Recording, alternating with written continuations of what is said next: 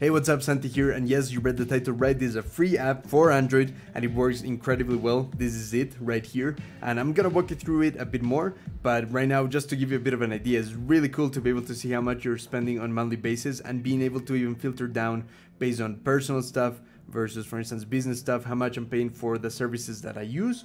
And this i think is incredibly helpful for those of us that love exploring different applications. And i know personally sometimes i just subscribe monthly to an app to see if it's worth it long term to see if it's something that i later want to pay annually uh, that kind of stuff you know. But i always like to keep on top of my finances. I know exactly how much money is going to different areas of my life maybe on things such as like apps for personal use versus business versus even services that i pay like electricity water going to the gym and those kind of stuff. I find find it super helpful to be able to know when a certain service is going to expire so that you know if you want to renew it or not. So yeah, it's really, really cool. I'm going to walk you through it a bit more. And yeah, well, the name of the app, of course, the name of the app is this one right here. I mean, the name is not very catchy, but it's just called subscriptions, manage your regular expenses. So that's how you'll find it on the Google Play Store. So if we talk about some upfront pros and cons. One of the cons is that this is Android only as far as I could tell, so this is not available on an iPhone. If you do use an iPhone and you know of another app, please leave it in the comments to help those that might be looking for something like this. So I'm really excited to share it with you. I love it. I've, started to move most of my subscriptions here, and yeah, it is free. That's definitely one of the things that got me interested in it, and it does have great reviews. And you know, from reading the reviews, that's what convinced me from giving it a try. So yeah, one of the cons is Android only, and that includes like the fact that there's no browser app or no desktop app so everything you do is on the phone which i'm honestly not a big fan of but this app is just so good that i had to kind of sacrifice that. And thankfully there's a way to kind of back things up even sync it with your google account it works pretty well. I'm really excited to show you. So yeah, let's get into the app. At first I was just gonna do like some example like entries such as like example app one, example app two, but I thought it was way more realistic and perhaps more useful to actually show you the kind of stuff that I pay for, what is even my process to determine when an app is worth it, and yeah, maybe just some insight that might help you. I think it's always helpful to see how much other people are paying for apps to actually see where you're at. And I personally think this number is really high for me. Like, I, it's not like I feel super comfortable with paying this amount on just apps because I haven't yet added things such as, you know, gym or electricity or like general bills. These are really just all applications right now. And you know, one of the things that I really love about the app is like I was saying, you can filter things down. If you go down here, you're gonna see those three lines, and here you can see all the different tags that you have. So for instance, if I go again for personal, you can actually click it in here, you know, like that. But if I see personal, that's a bit of a more realistic number of what are the apps that I use for personal use versus the one in, in business, because I do run this YouTube channel business where I make courses and those numbers for the services that I use really skew the numbers. So if I just click on business right here, you're gonna be able to see that these are the expenses on just business alone, you know, and one of the highest ones is this one Teachable right here, which I pay a lot for, but that allows me to kind of make a living, so, you know, I think it's worth it. But yeah, I just thought that's a useful thing to say because like this is kind of like my normal person expenses on the apps that I use, which I think I've managed to get a hold on. Definitely gets out of hand sometimes, but right now I'm pretty happy with that number. I try not to go too crazy, but yeah, either way. So pretty happy with that. And again, I can actually see monthly and personal. You know, or another thing that's pretty handy is you can actually click up here and change to yearly to see how much I'm paying for for personal applications on yearly basis. The same thing I can do for business because that's a useful one for me to actually know how much things are costing me. And, you know, it's pretty high, but these are things that I always need to on yearly basis revisit. Be like, is this worth it? Shall I try to replace some services for others? And yeah, so that's really handy for me. There's a weekly one as well, but I find that a bit harder to perspective. I find it way more useful to think in, in monthly terms or yearly terms. And then beyond that, what you can also do is, well, let's just remove this one. And down here you have payment method. So I had to rename this just because I don't didn't want to put the real names of the bank. But yeah, you can filter things down by like how many things are being paid by bank one. And here you can see, it tells you on the top what is the filter and now I can just see everything that I paid with that bank. And you can do the same of course for another type of bank. Uh, you can even see like several banks and that kind of stuff you know? So it's pretty handy. I like that a lot. I like that it's separate from the labels.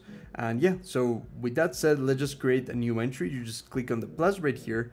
And let's just do I don't know like 8 is kind of like a regular number for for applications that are on monthly basis and let's just call it like the best app right? And then in here what you can do is give it a description. So be like maybe i'm testing this app. Maybe you're not yet convinced if you're gonna pay for it longer term. And here in billing period uh, you have actually two options recurring or one time.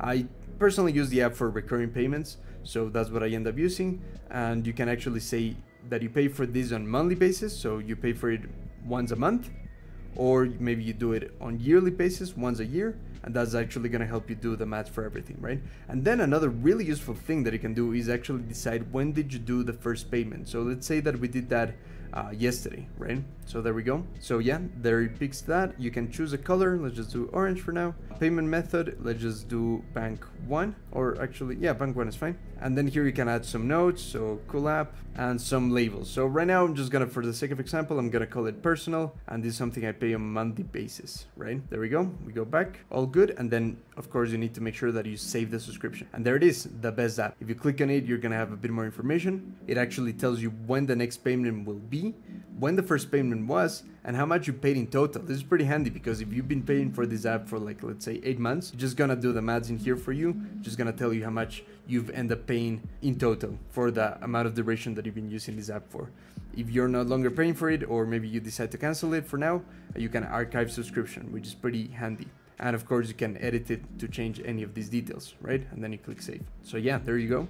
And as you can see in this side, you can actually see how many days before it expires. So because we said we paid for this yesterday, then that means that now we have 29 days until it renews. And I actually have down here there's like a little arrow for sorting. I actually like sorting it for next billing date. That way whenever there's an app that is about to renew, that is gonna go to the very top of things. So for instance, this app I'm gonna pay for today. If I decided, and this is on monthly basis that I pay for, if I decided I'm no, no longer making use of it, I could cancel the subscription today you know so the same for this one like if it's something i no, no longer want to pay i can know that in two days is gonna be expiring. And yeah if you don't like that you can always categorize things by name because it might make it easier for you to know exactly where to find which app. But yeah i really heavily rely on just filters you know? So for instance some things i just know that they're business and website related and i have two right there you know? So yeah i use tags quite heavily because there isn't a search function. I wish there was to be honest but like a way to just search for the app so that you know exactly where it is and how much you're paying and all the stats that you might want to find on that app so yeah, pretty cool. And the app that we created is this one right here, the best app. And uh, because it's $8, you can see that the total number of monthly has already increased. So because I just don't want that, I'm gonna remove this. Delete it, and then it comes back to my real number. A couple of extra settings that you can do in the app is if you go to the three dots on the left, you can actually hide labels. So look at the difference, that is a bit more compact. I do like seeing the labels because I like clicking on them and then clicking on them just allows me to just make use of the filters, right? So I don't like that, right? So yeah, of course there's dark mode, which is the reason why I love this so much. You can disable it and burn your retinas and hate your life, but if you love yourself, you're gonna use some nice dark mode. Not to discriminate against the non-dark mode community. but yeah, either way. So then you can also do uh, backups right here. You can also hide the time until next payment, but I really like that. You can see it in the top right here, how that hides, right? But I like keeping that. Uh, backups, this is pretty handy because you can actually sync it to your Google account if you have one, and that that is just a way in which you can just save backup and just make sure that if something happens to your phone, you lose your phone or like, I don't know, it resets or whatever and you lose your data.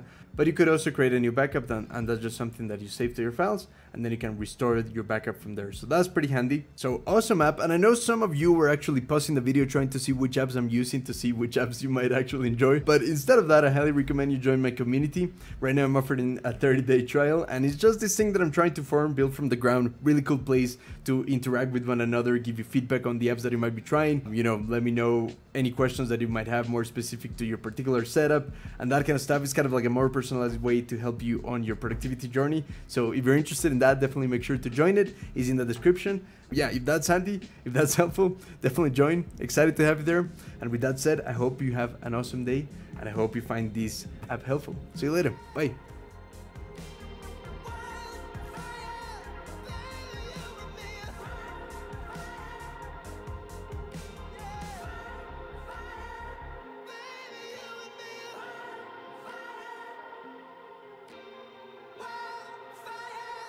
Cool. See you later. Bye.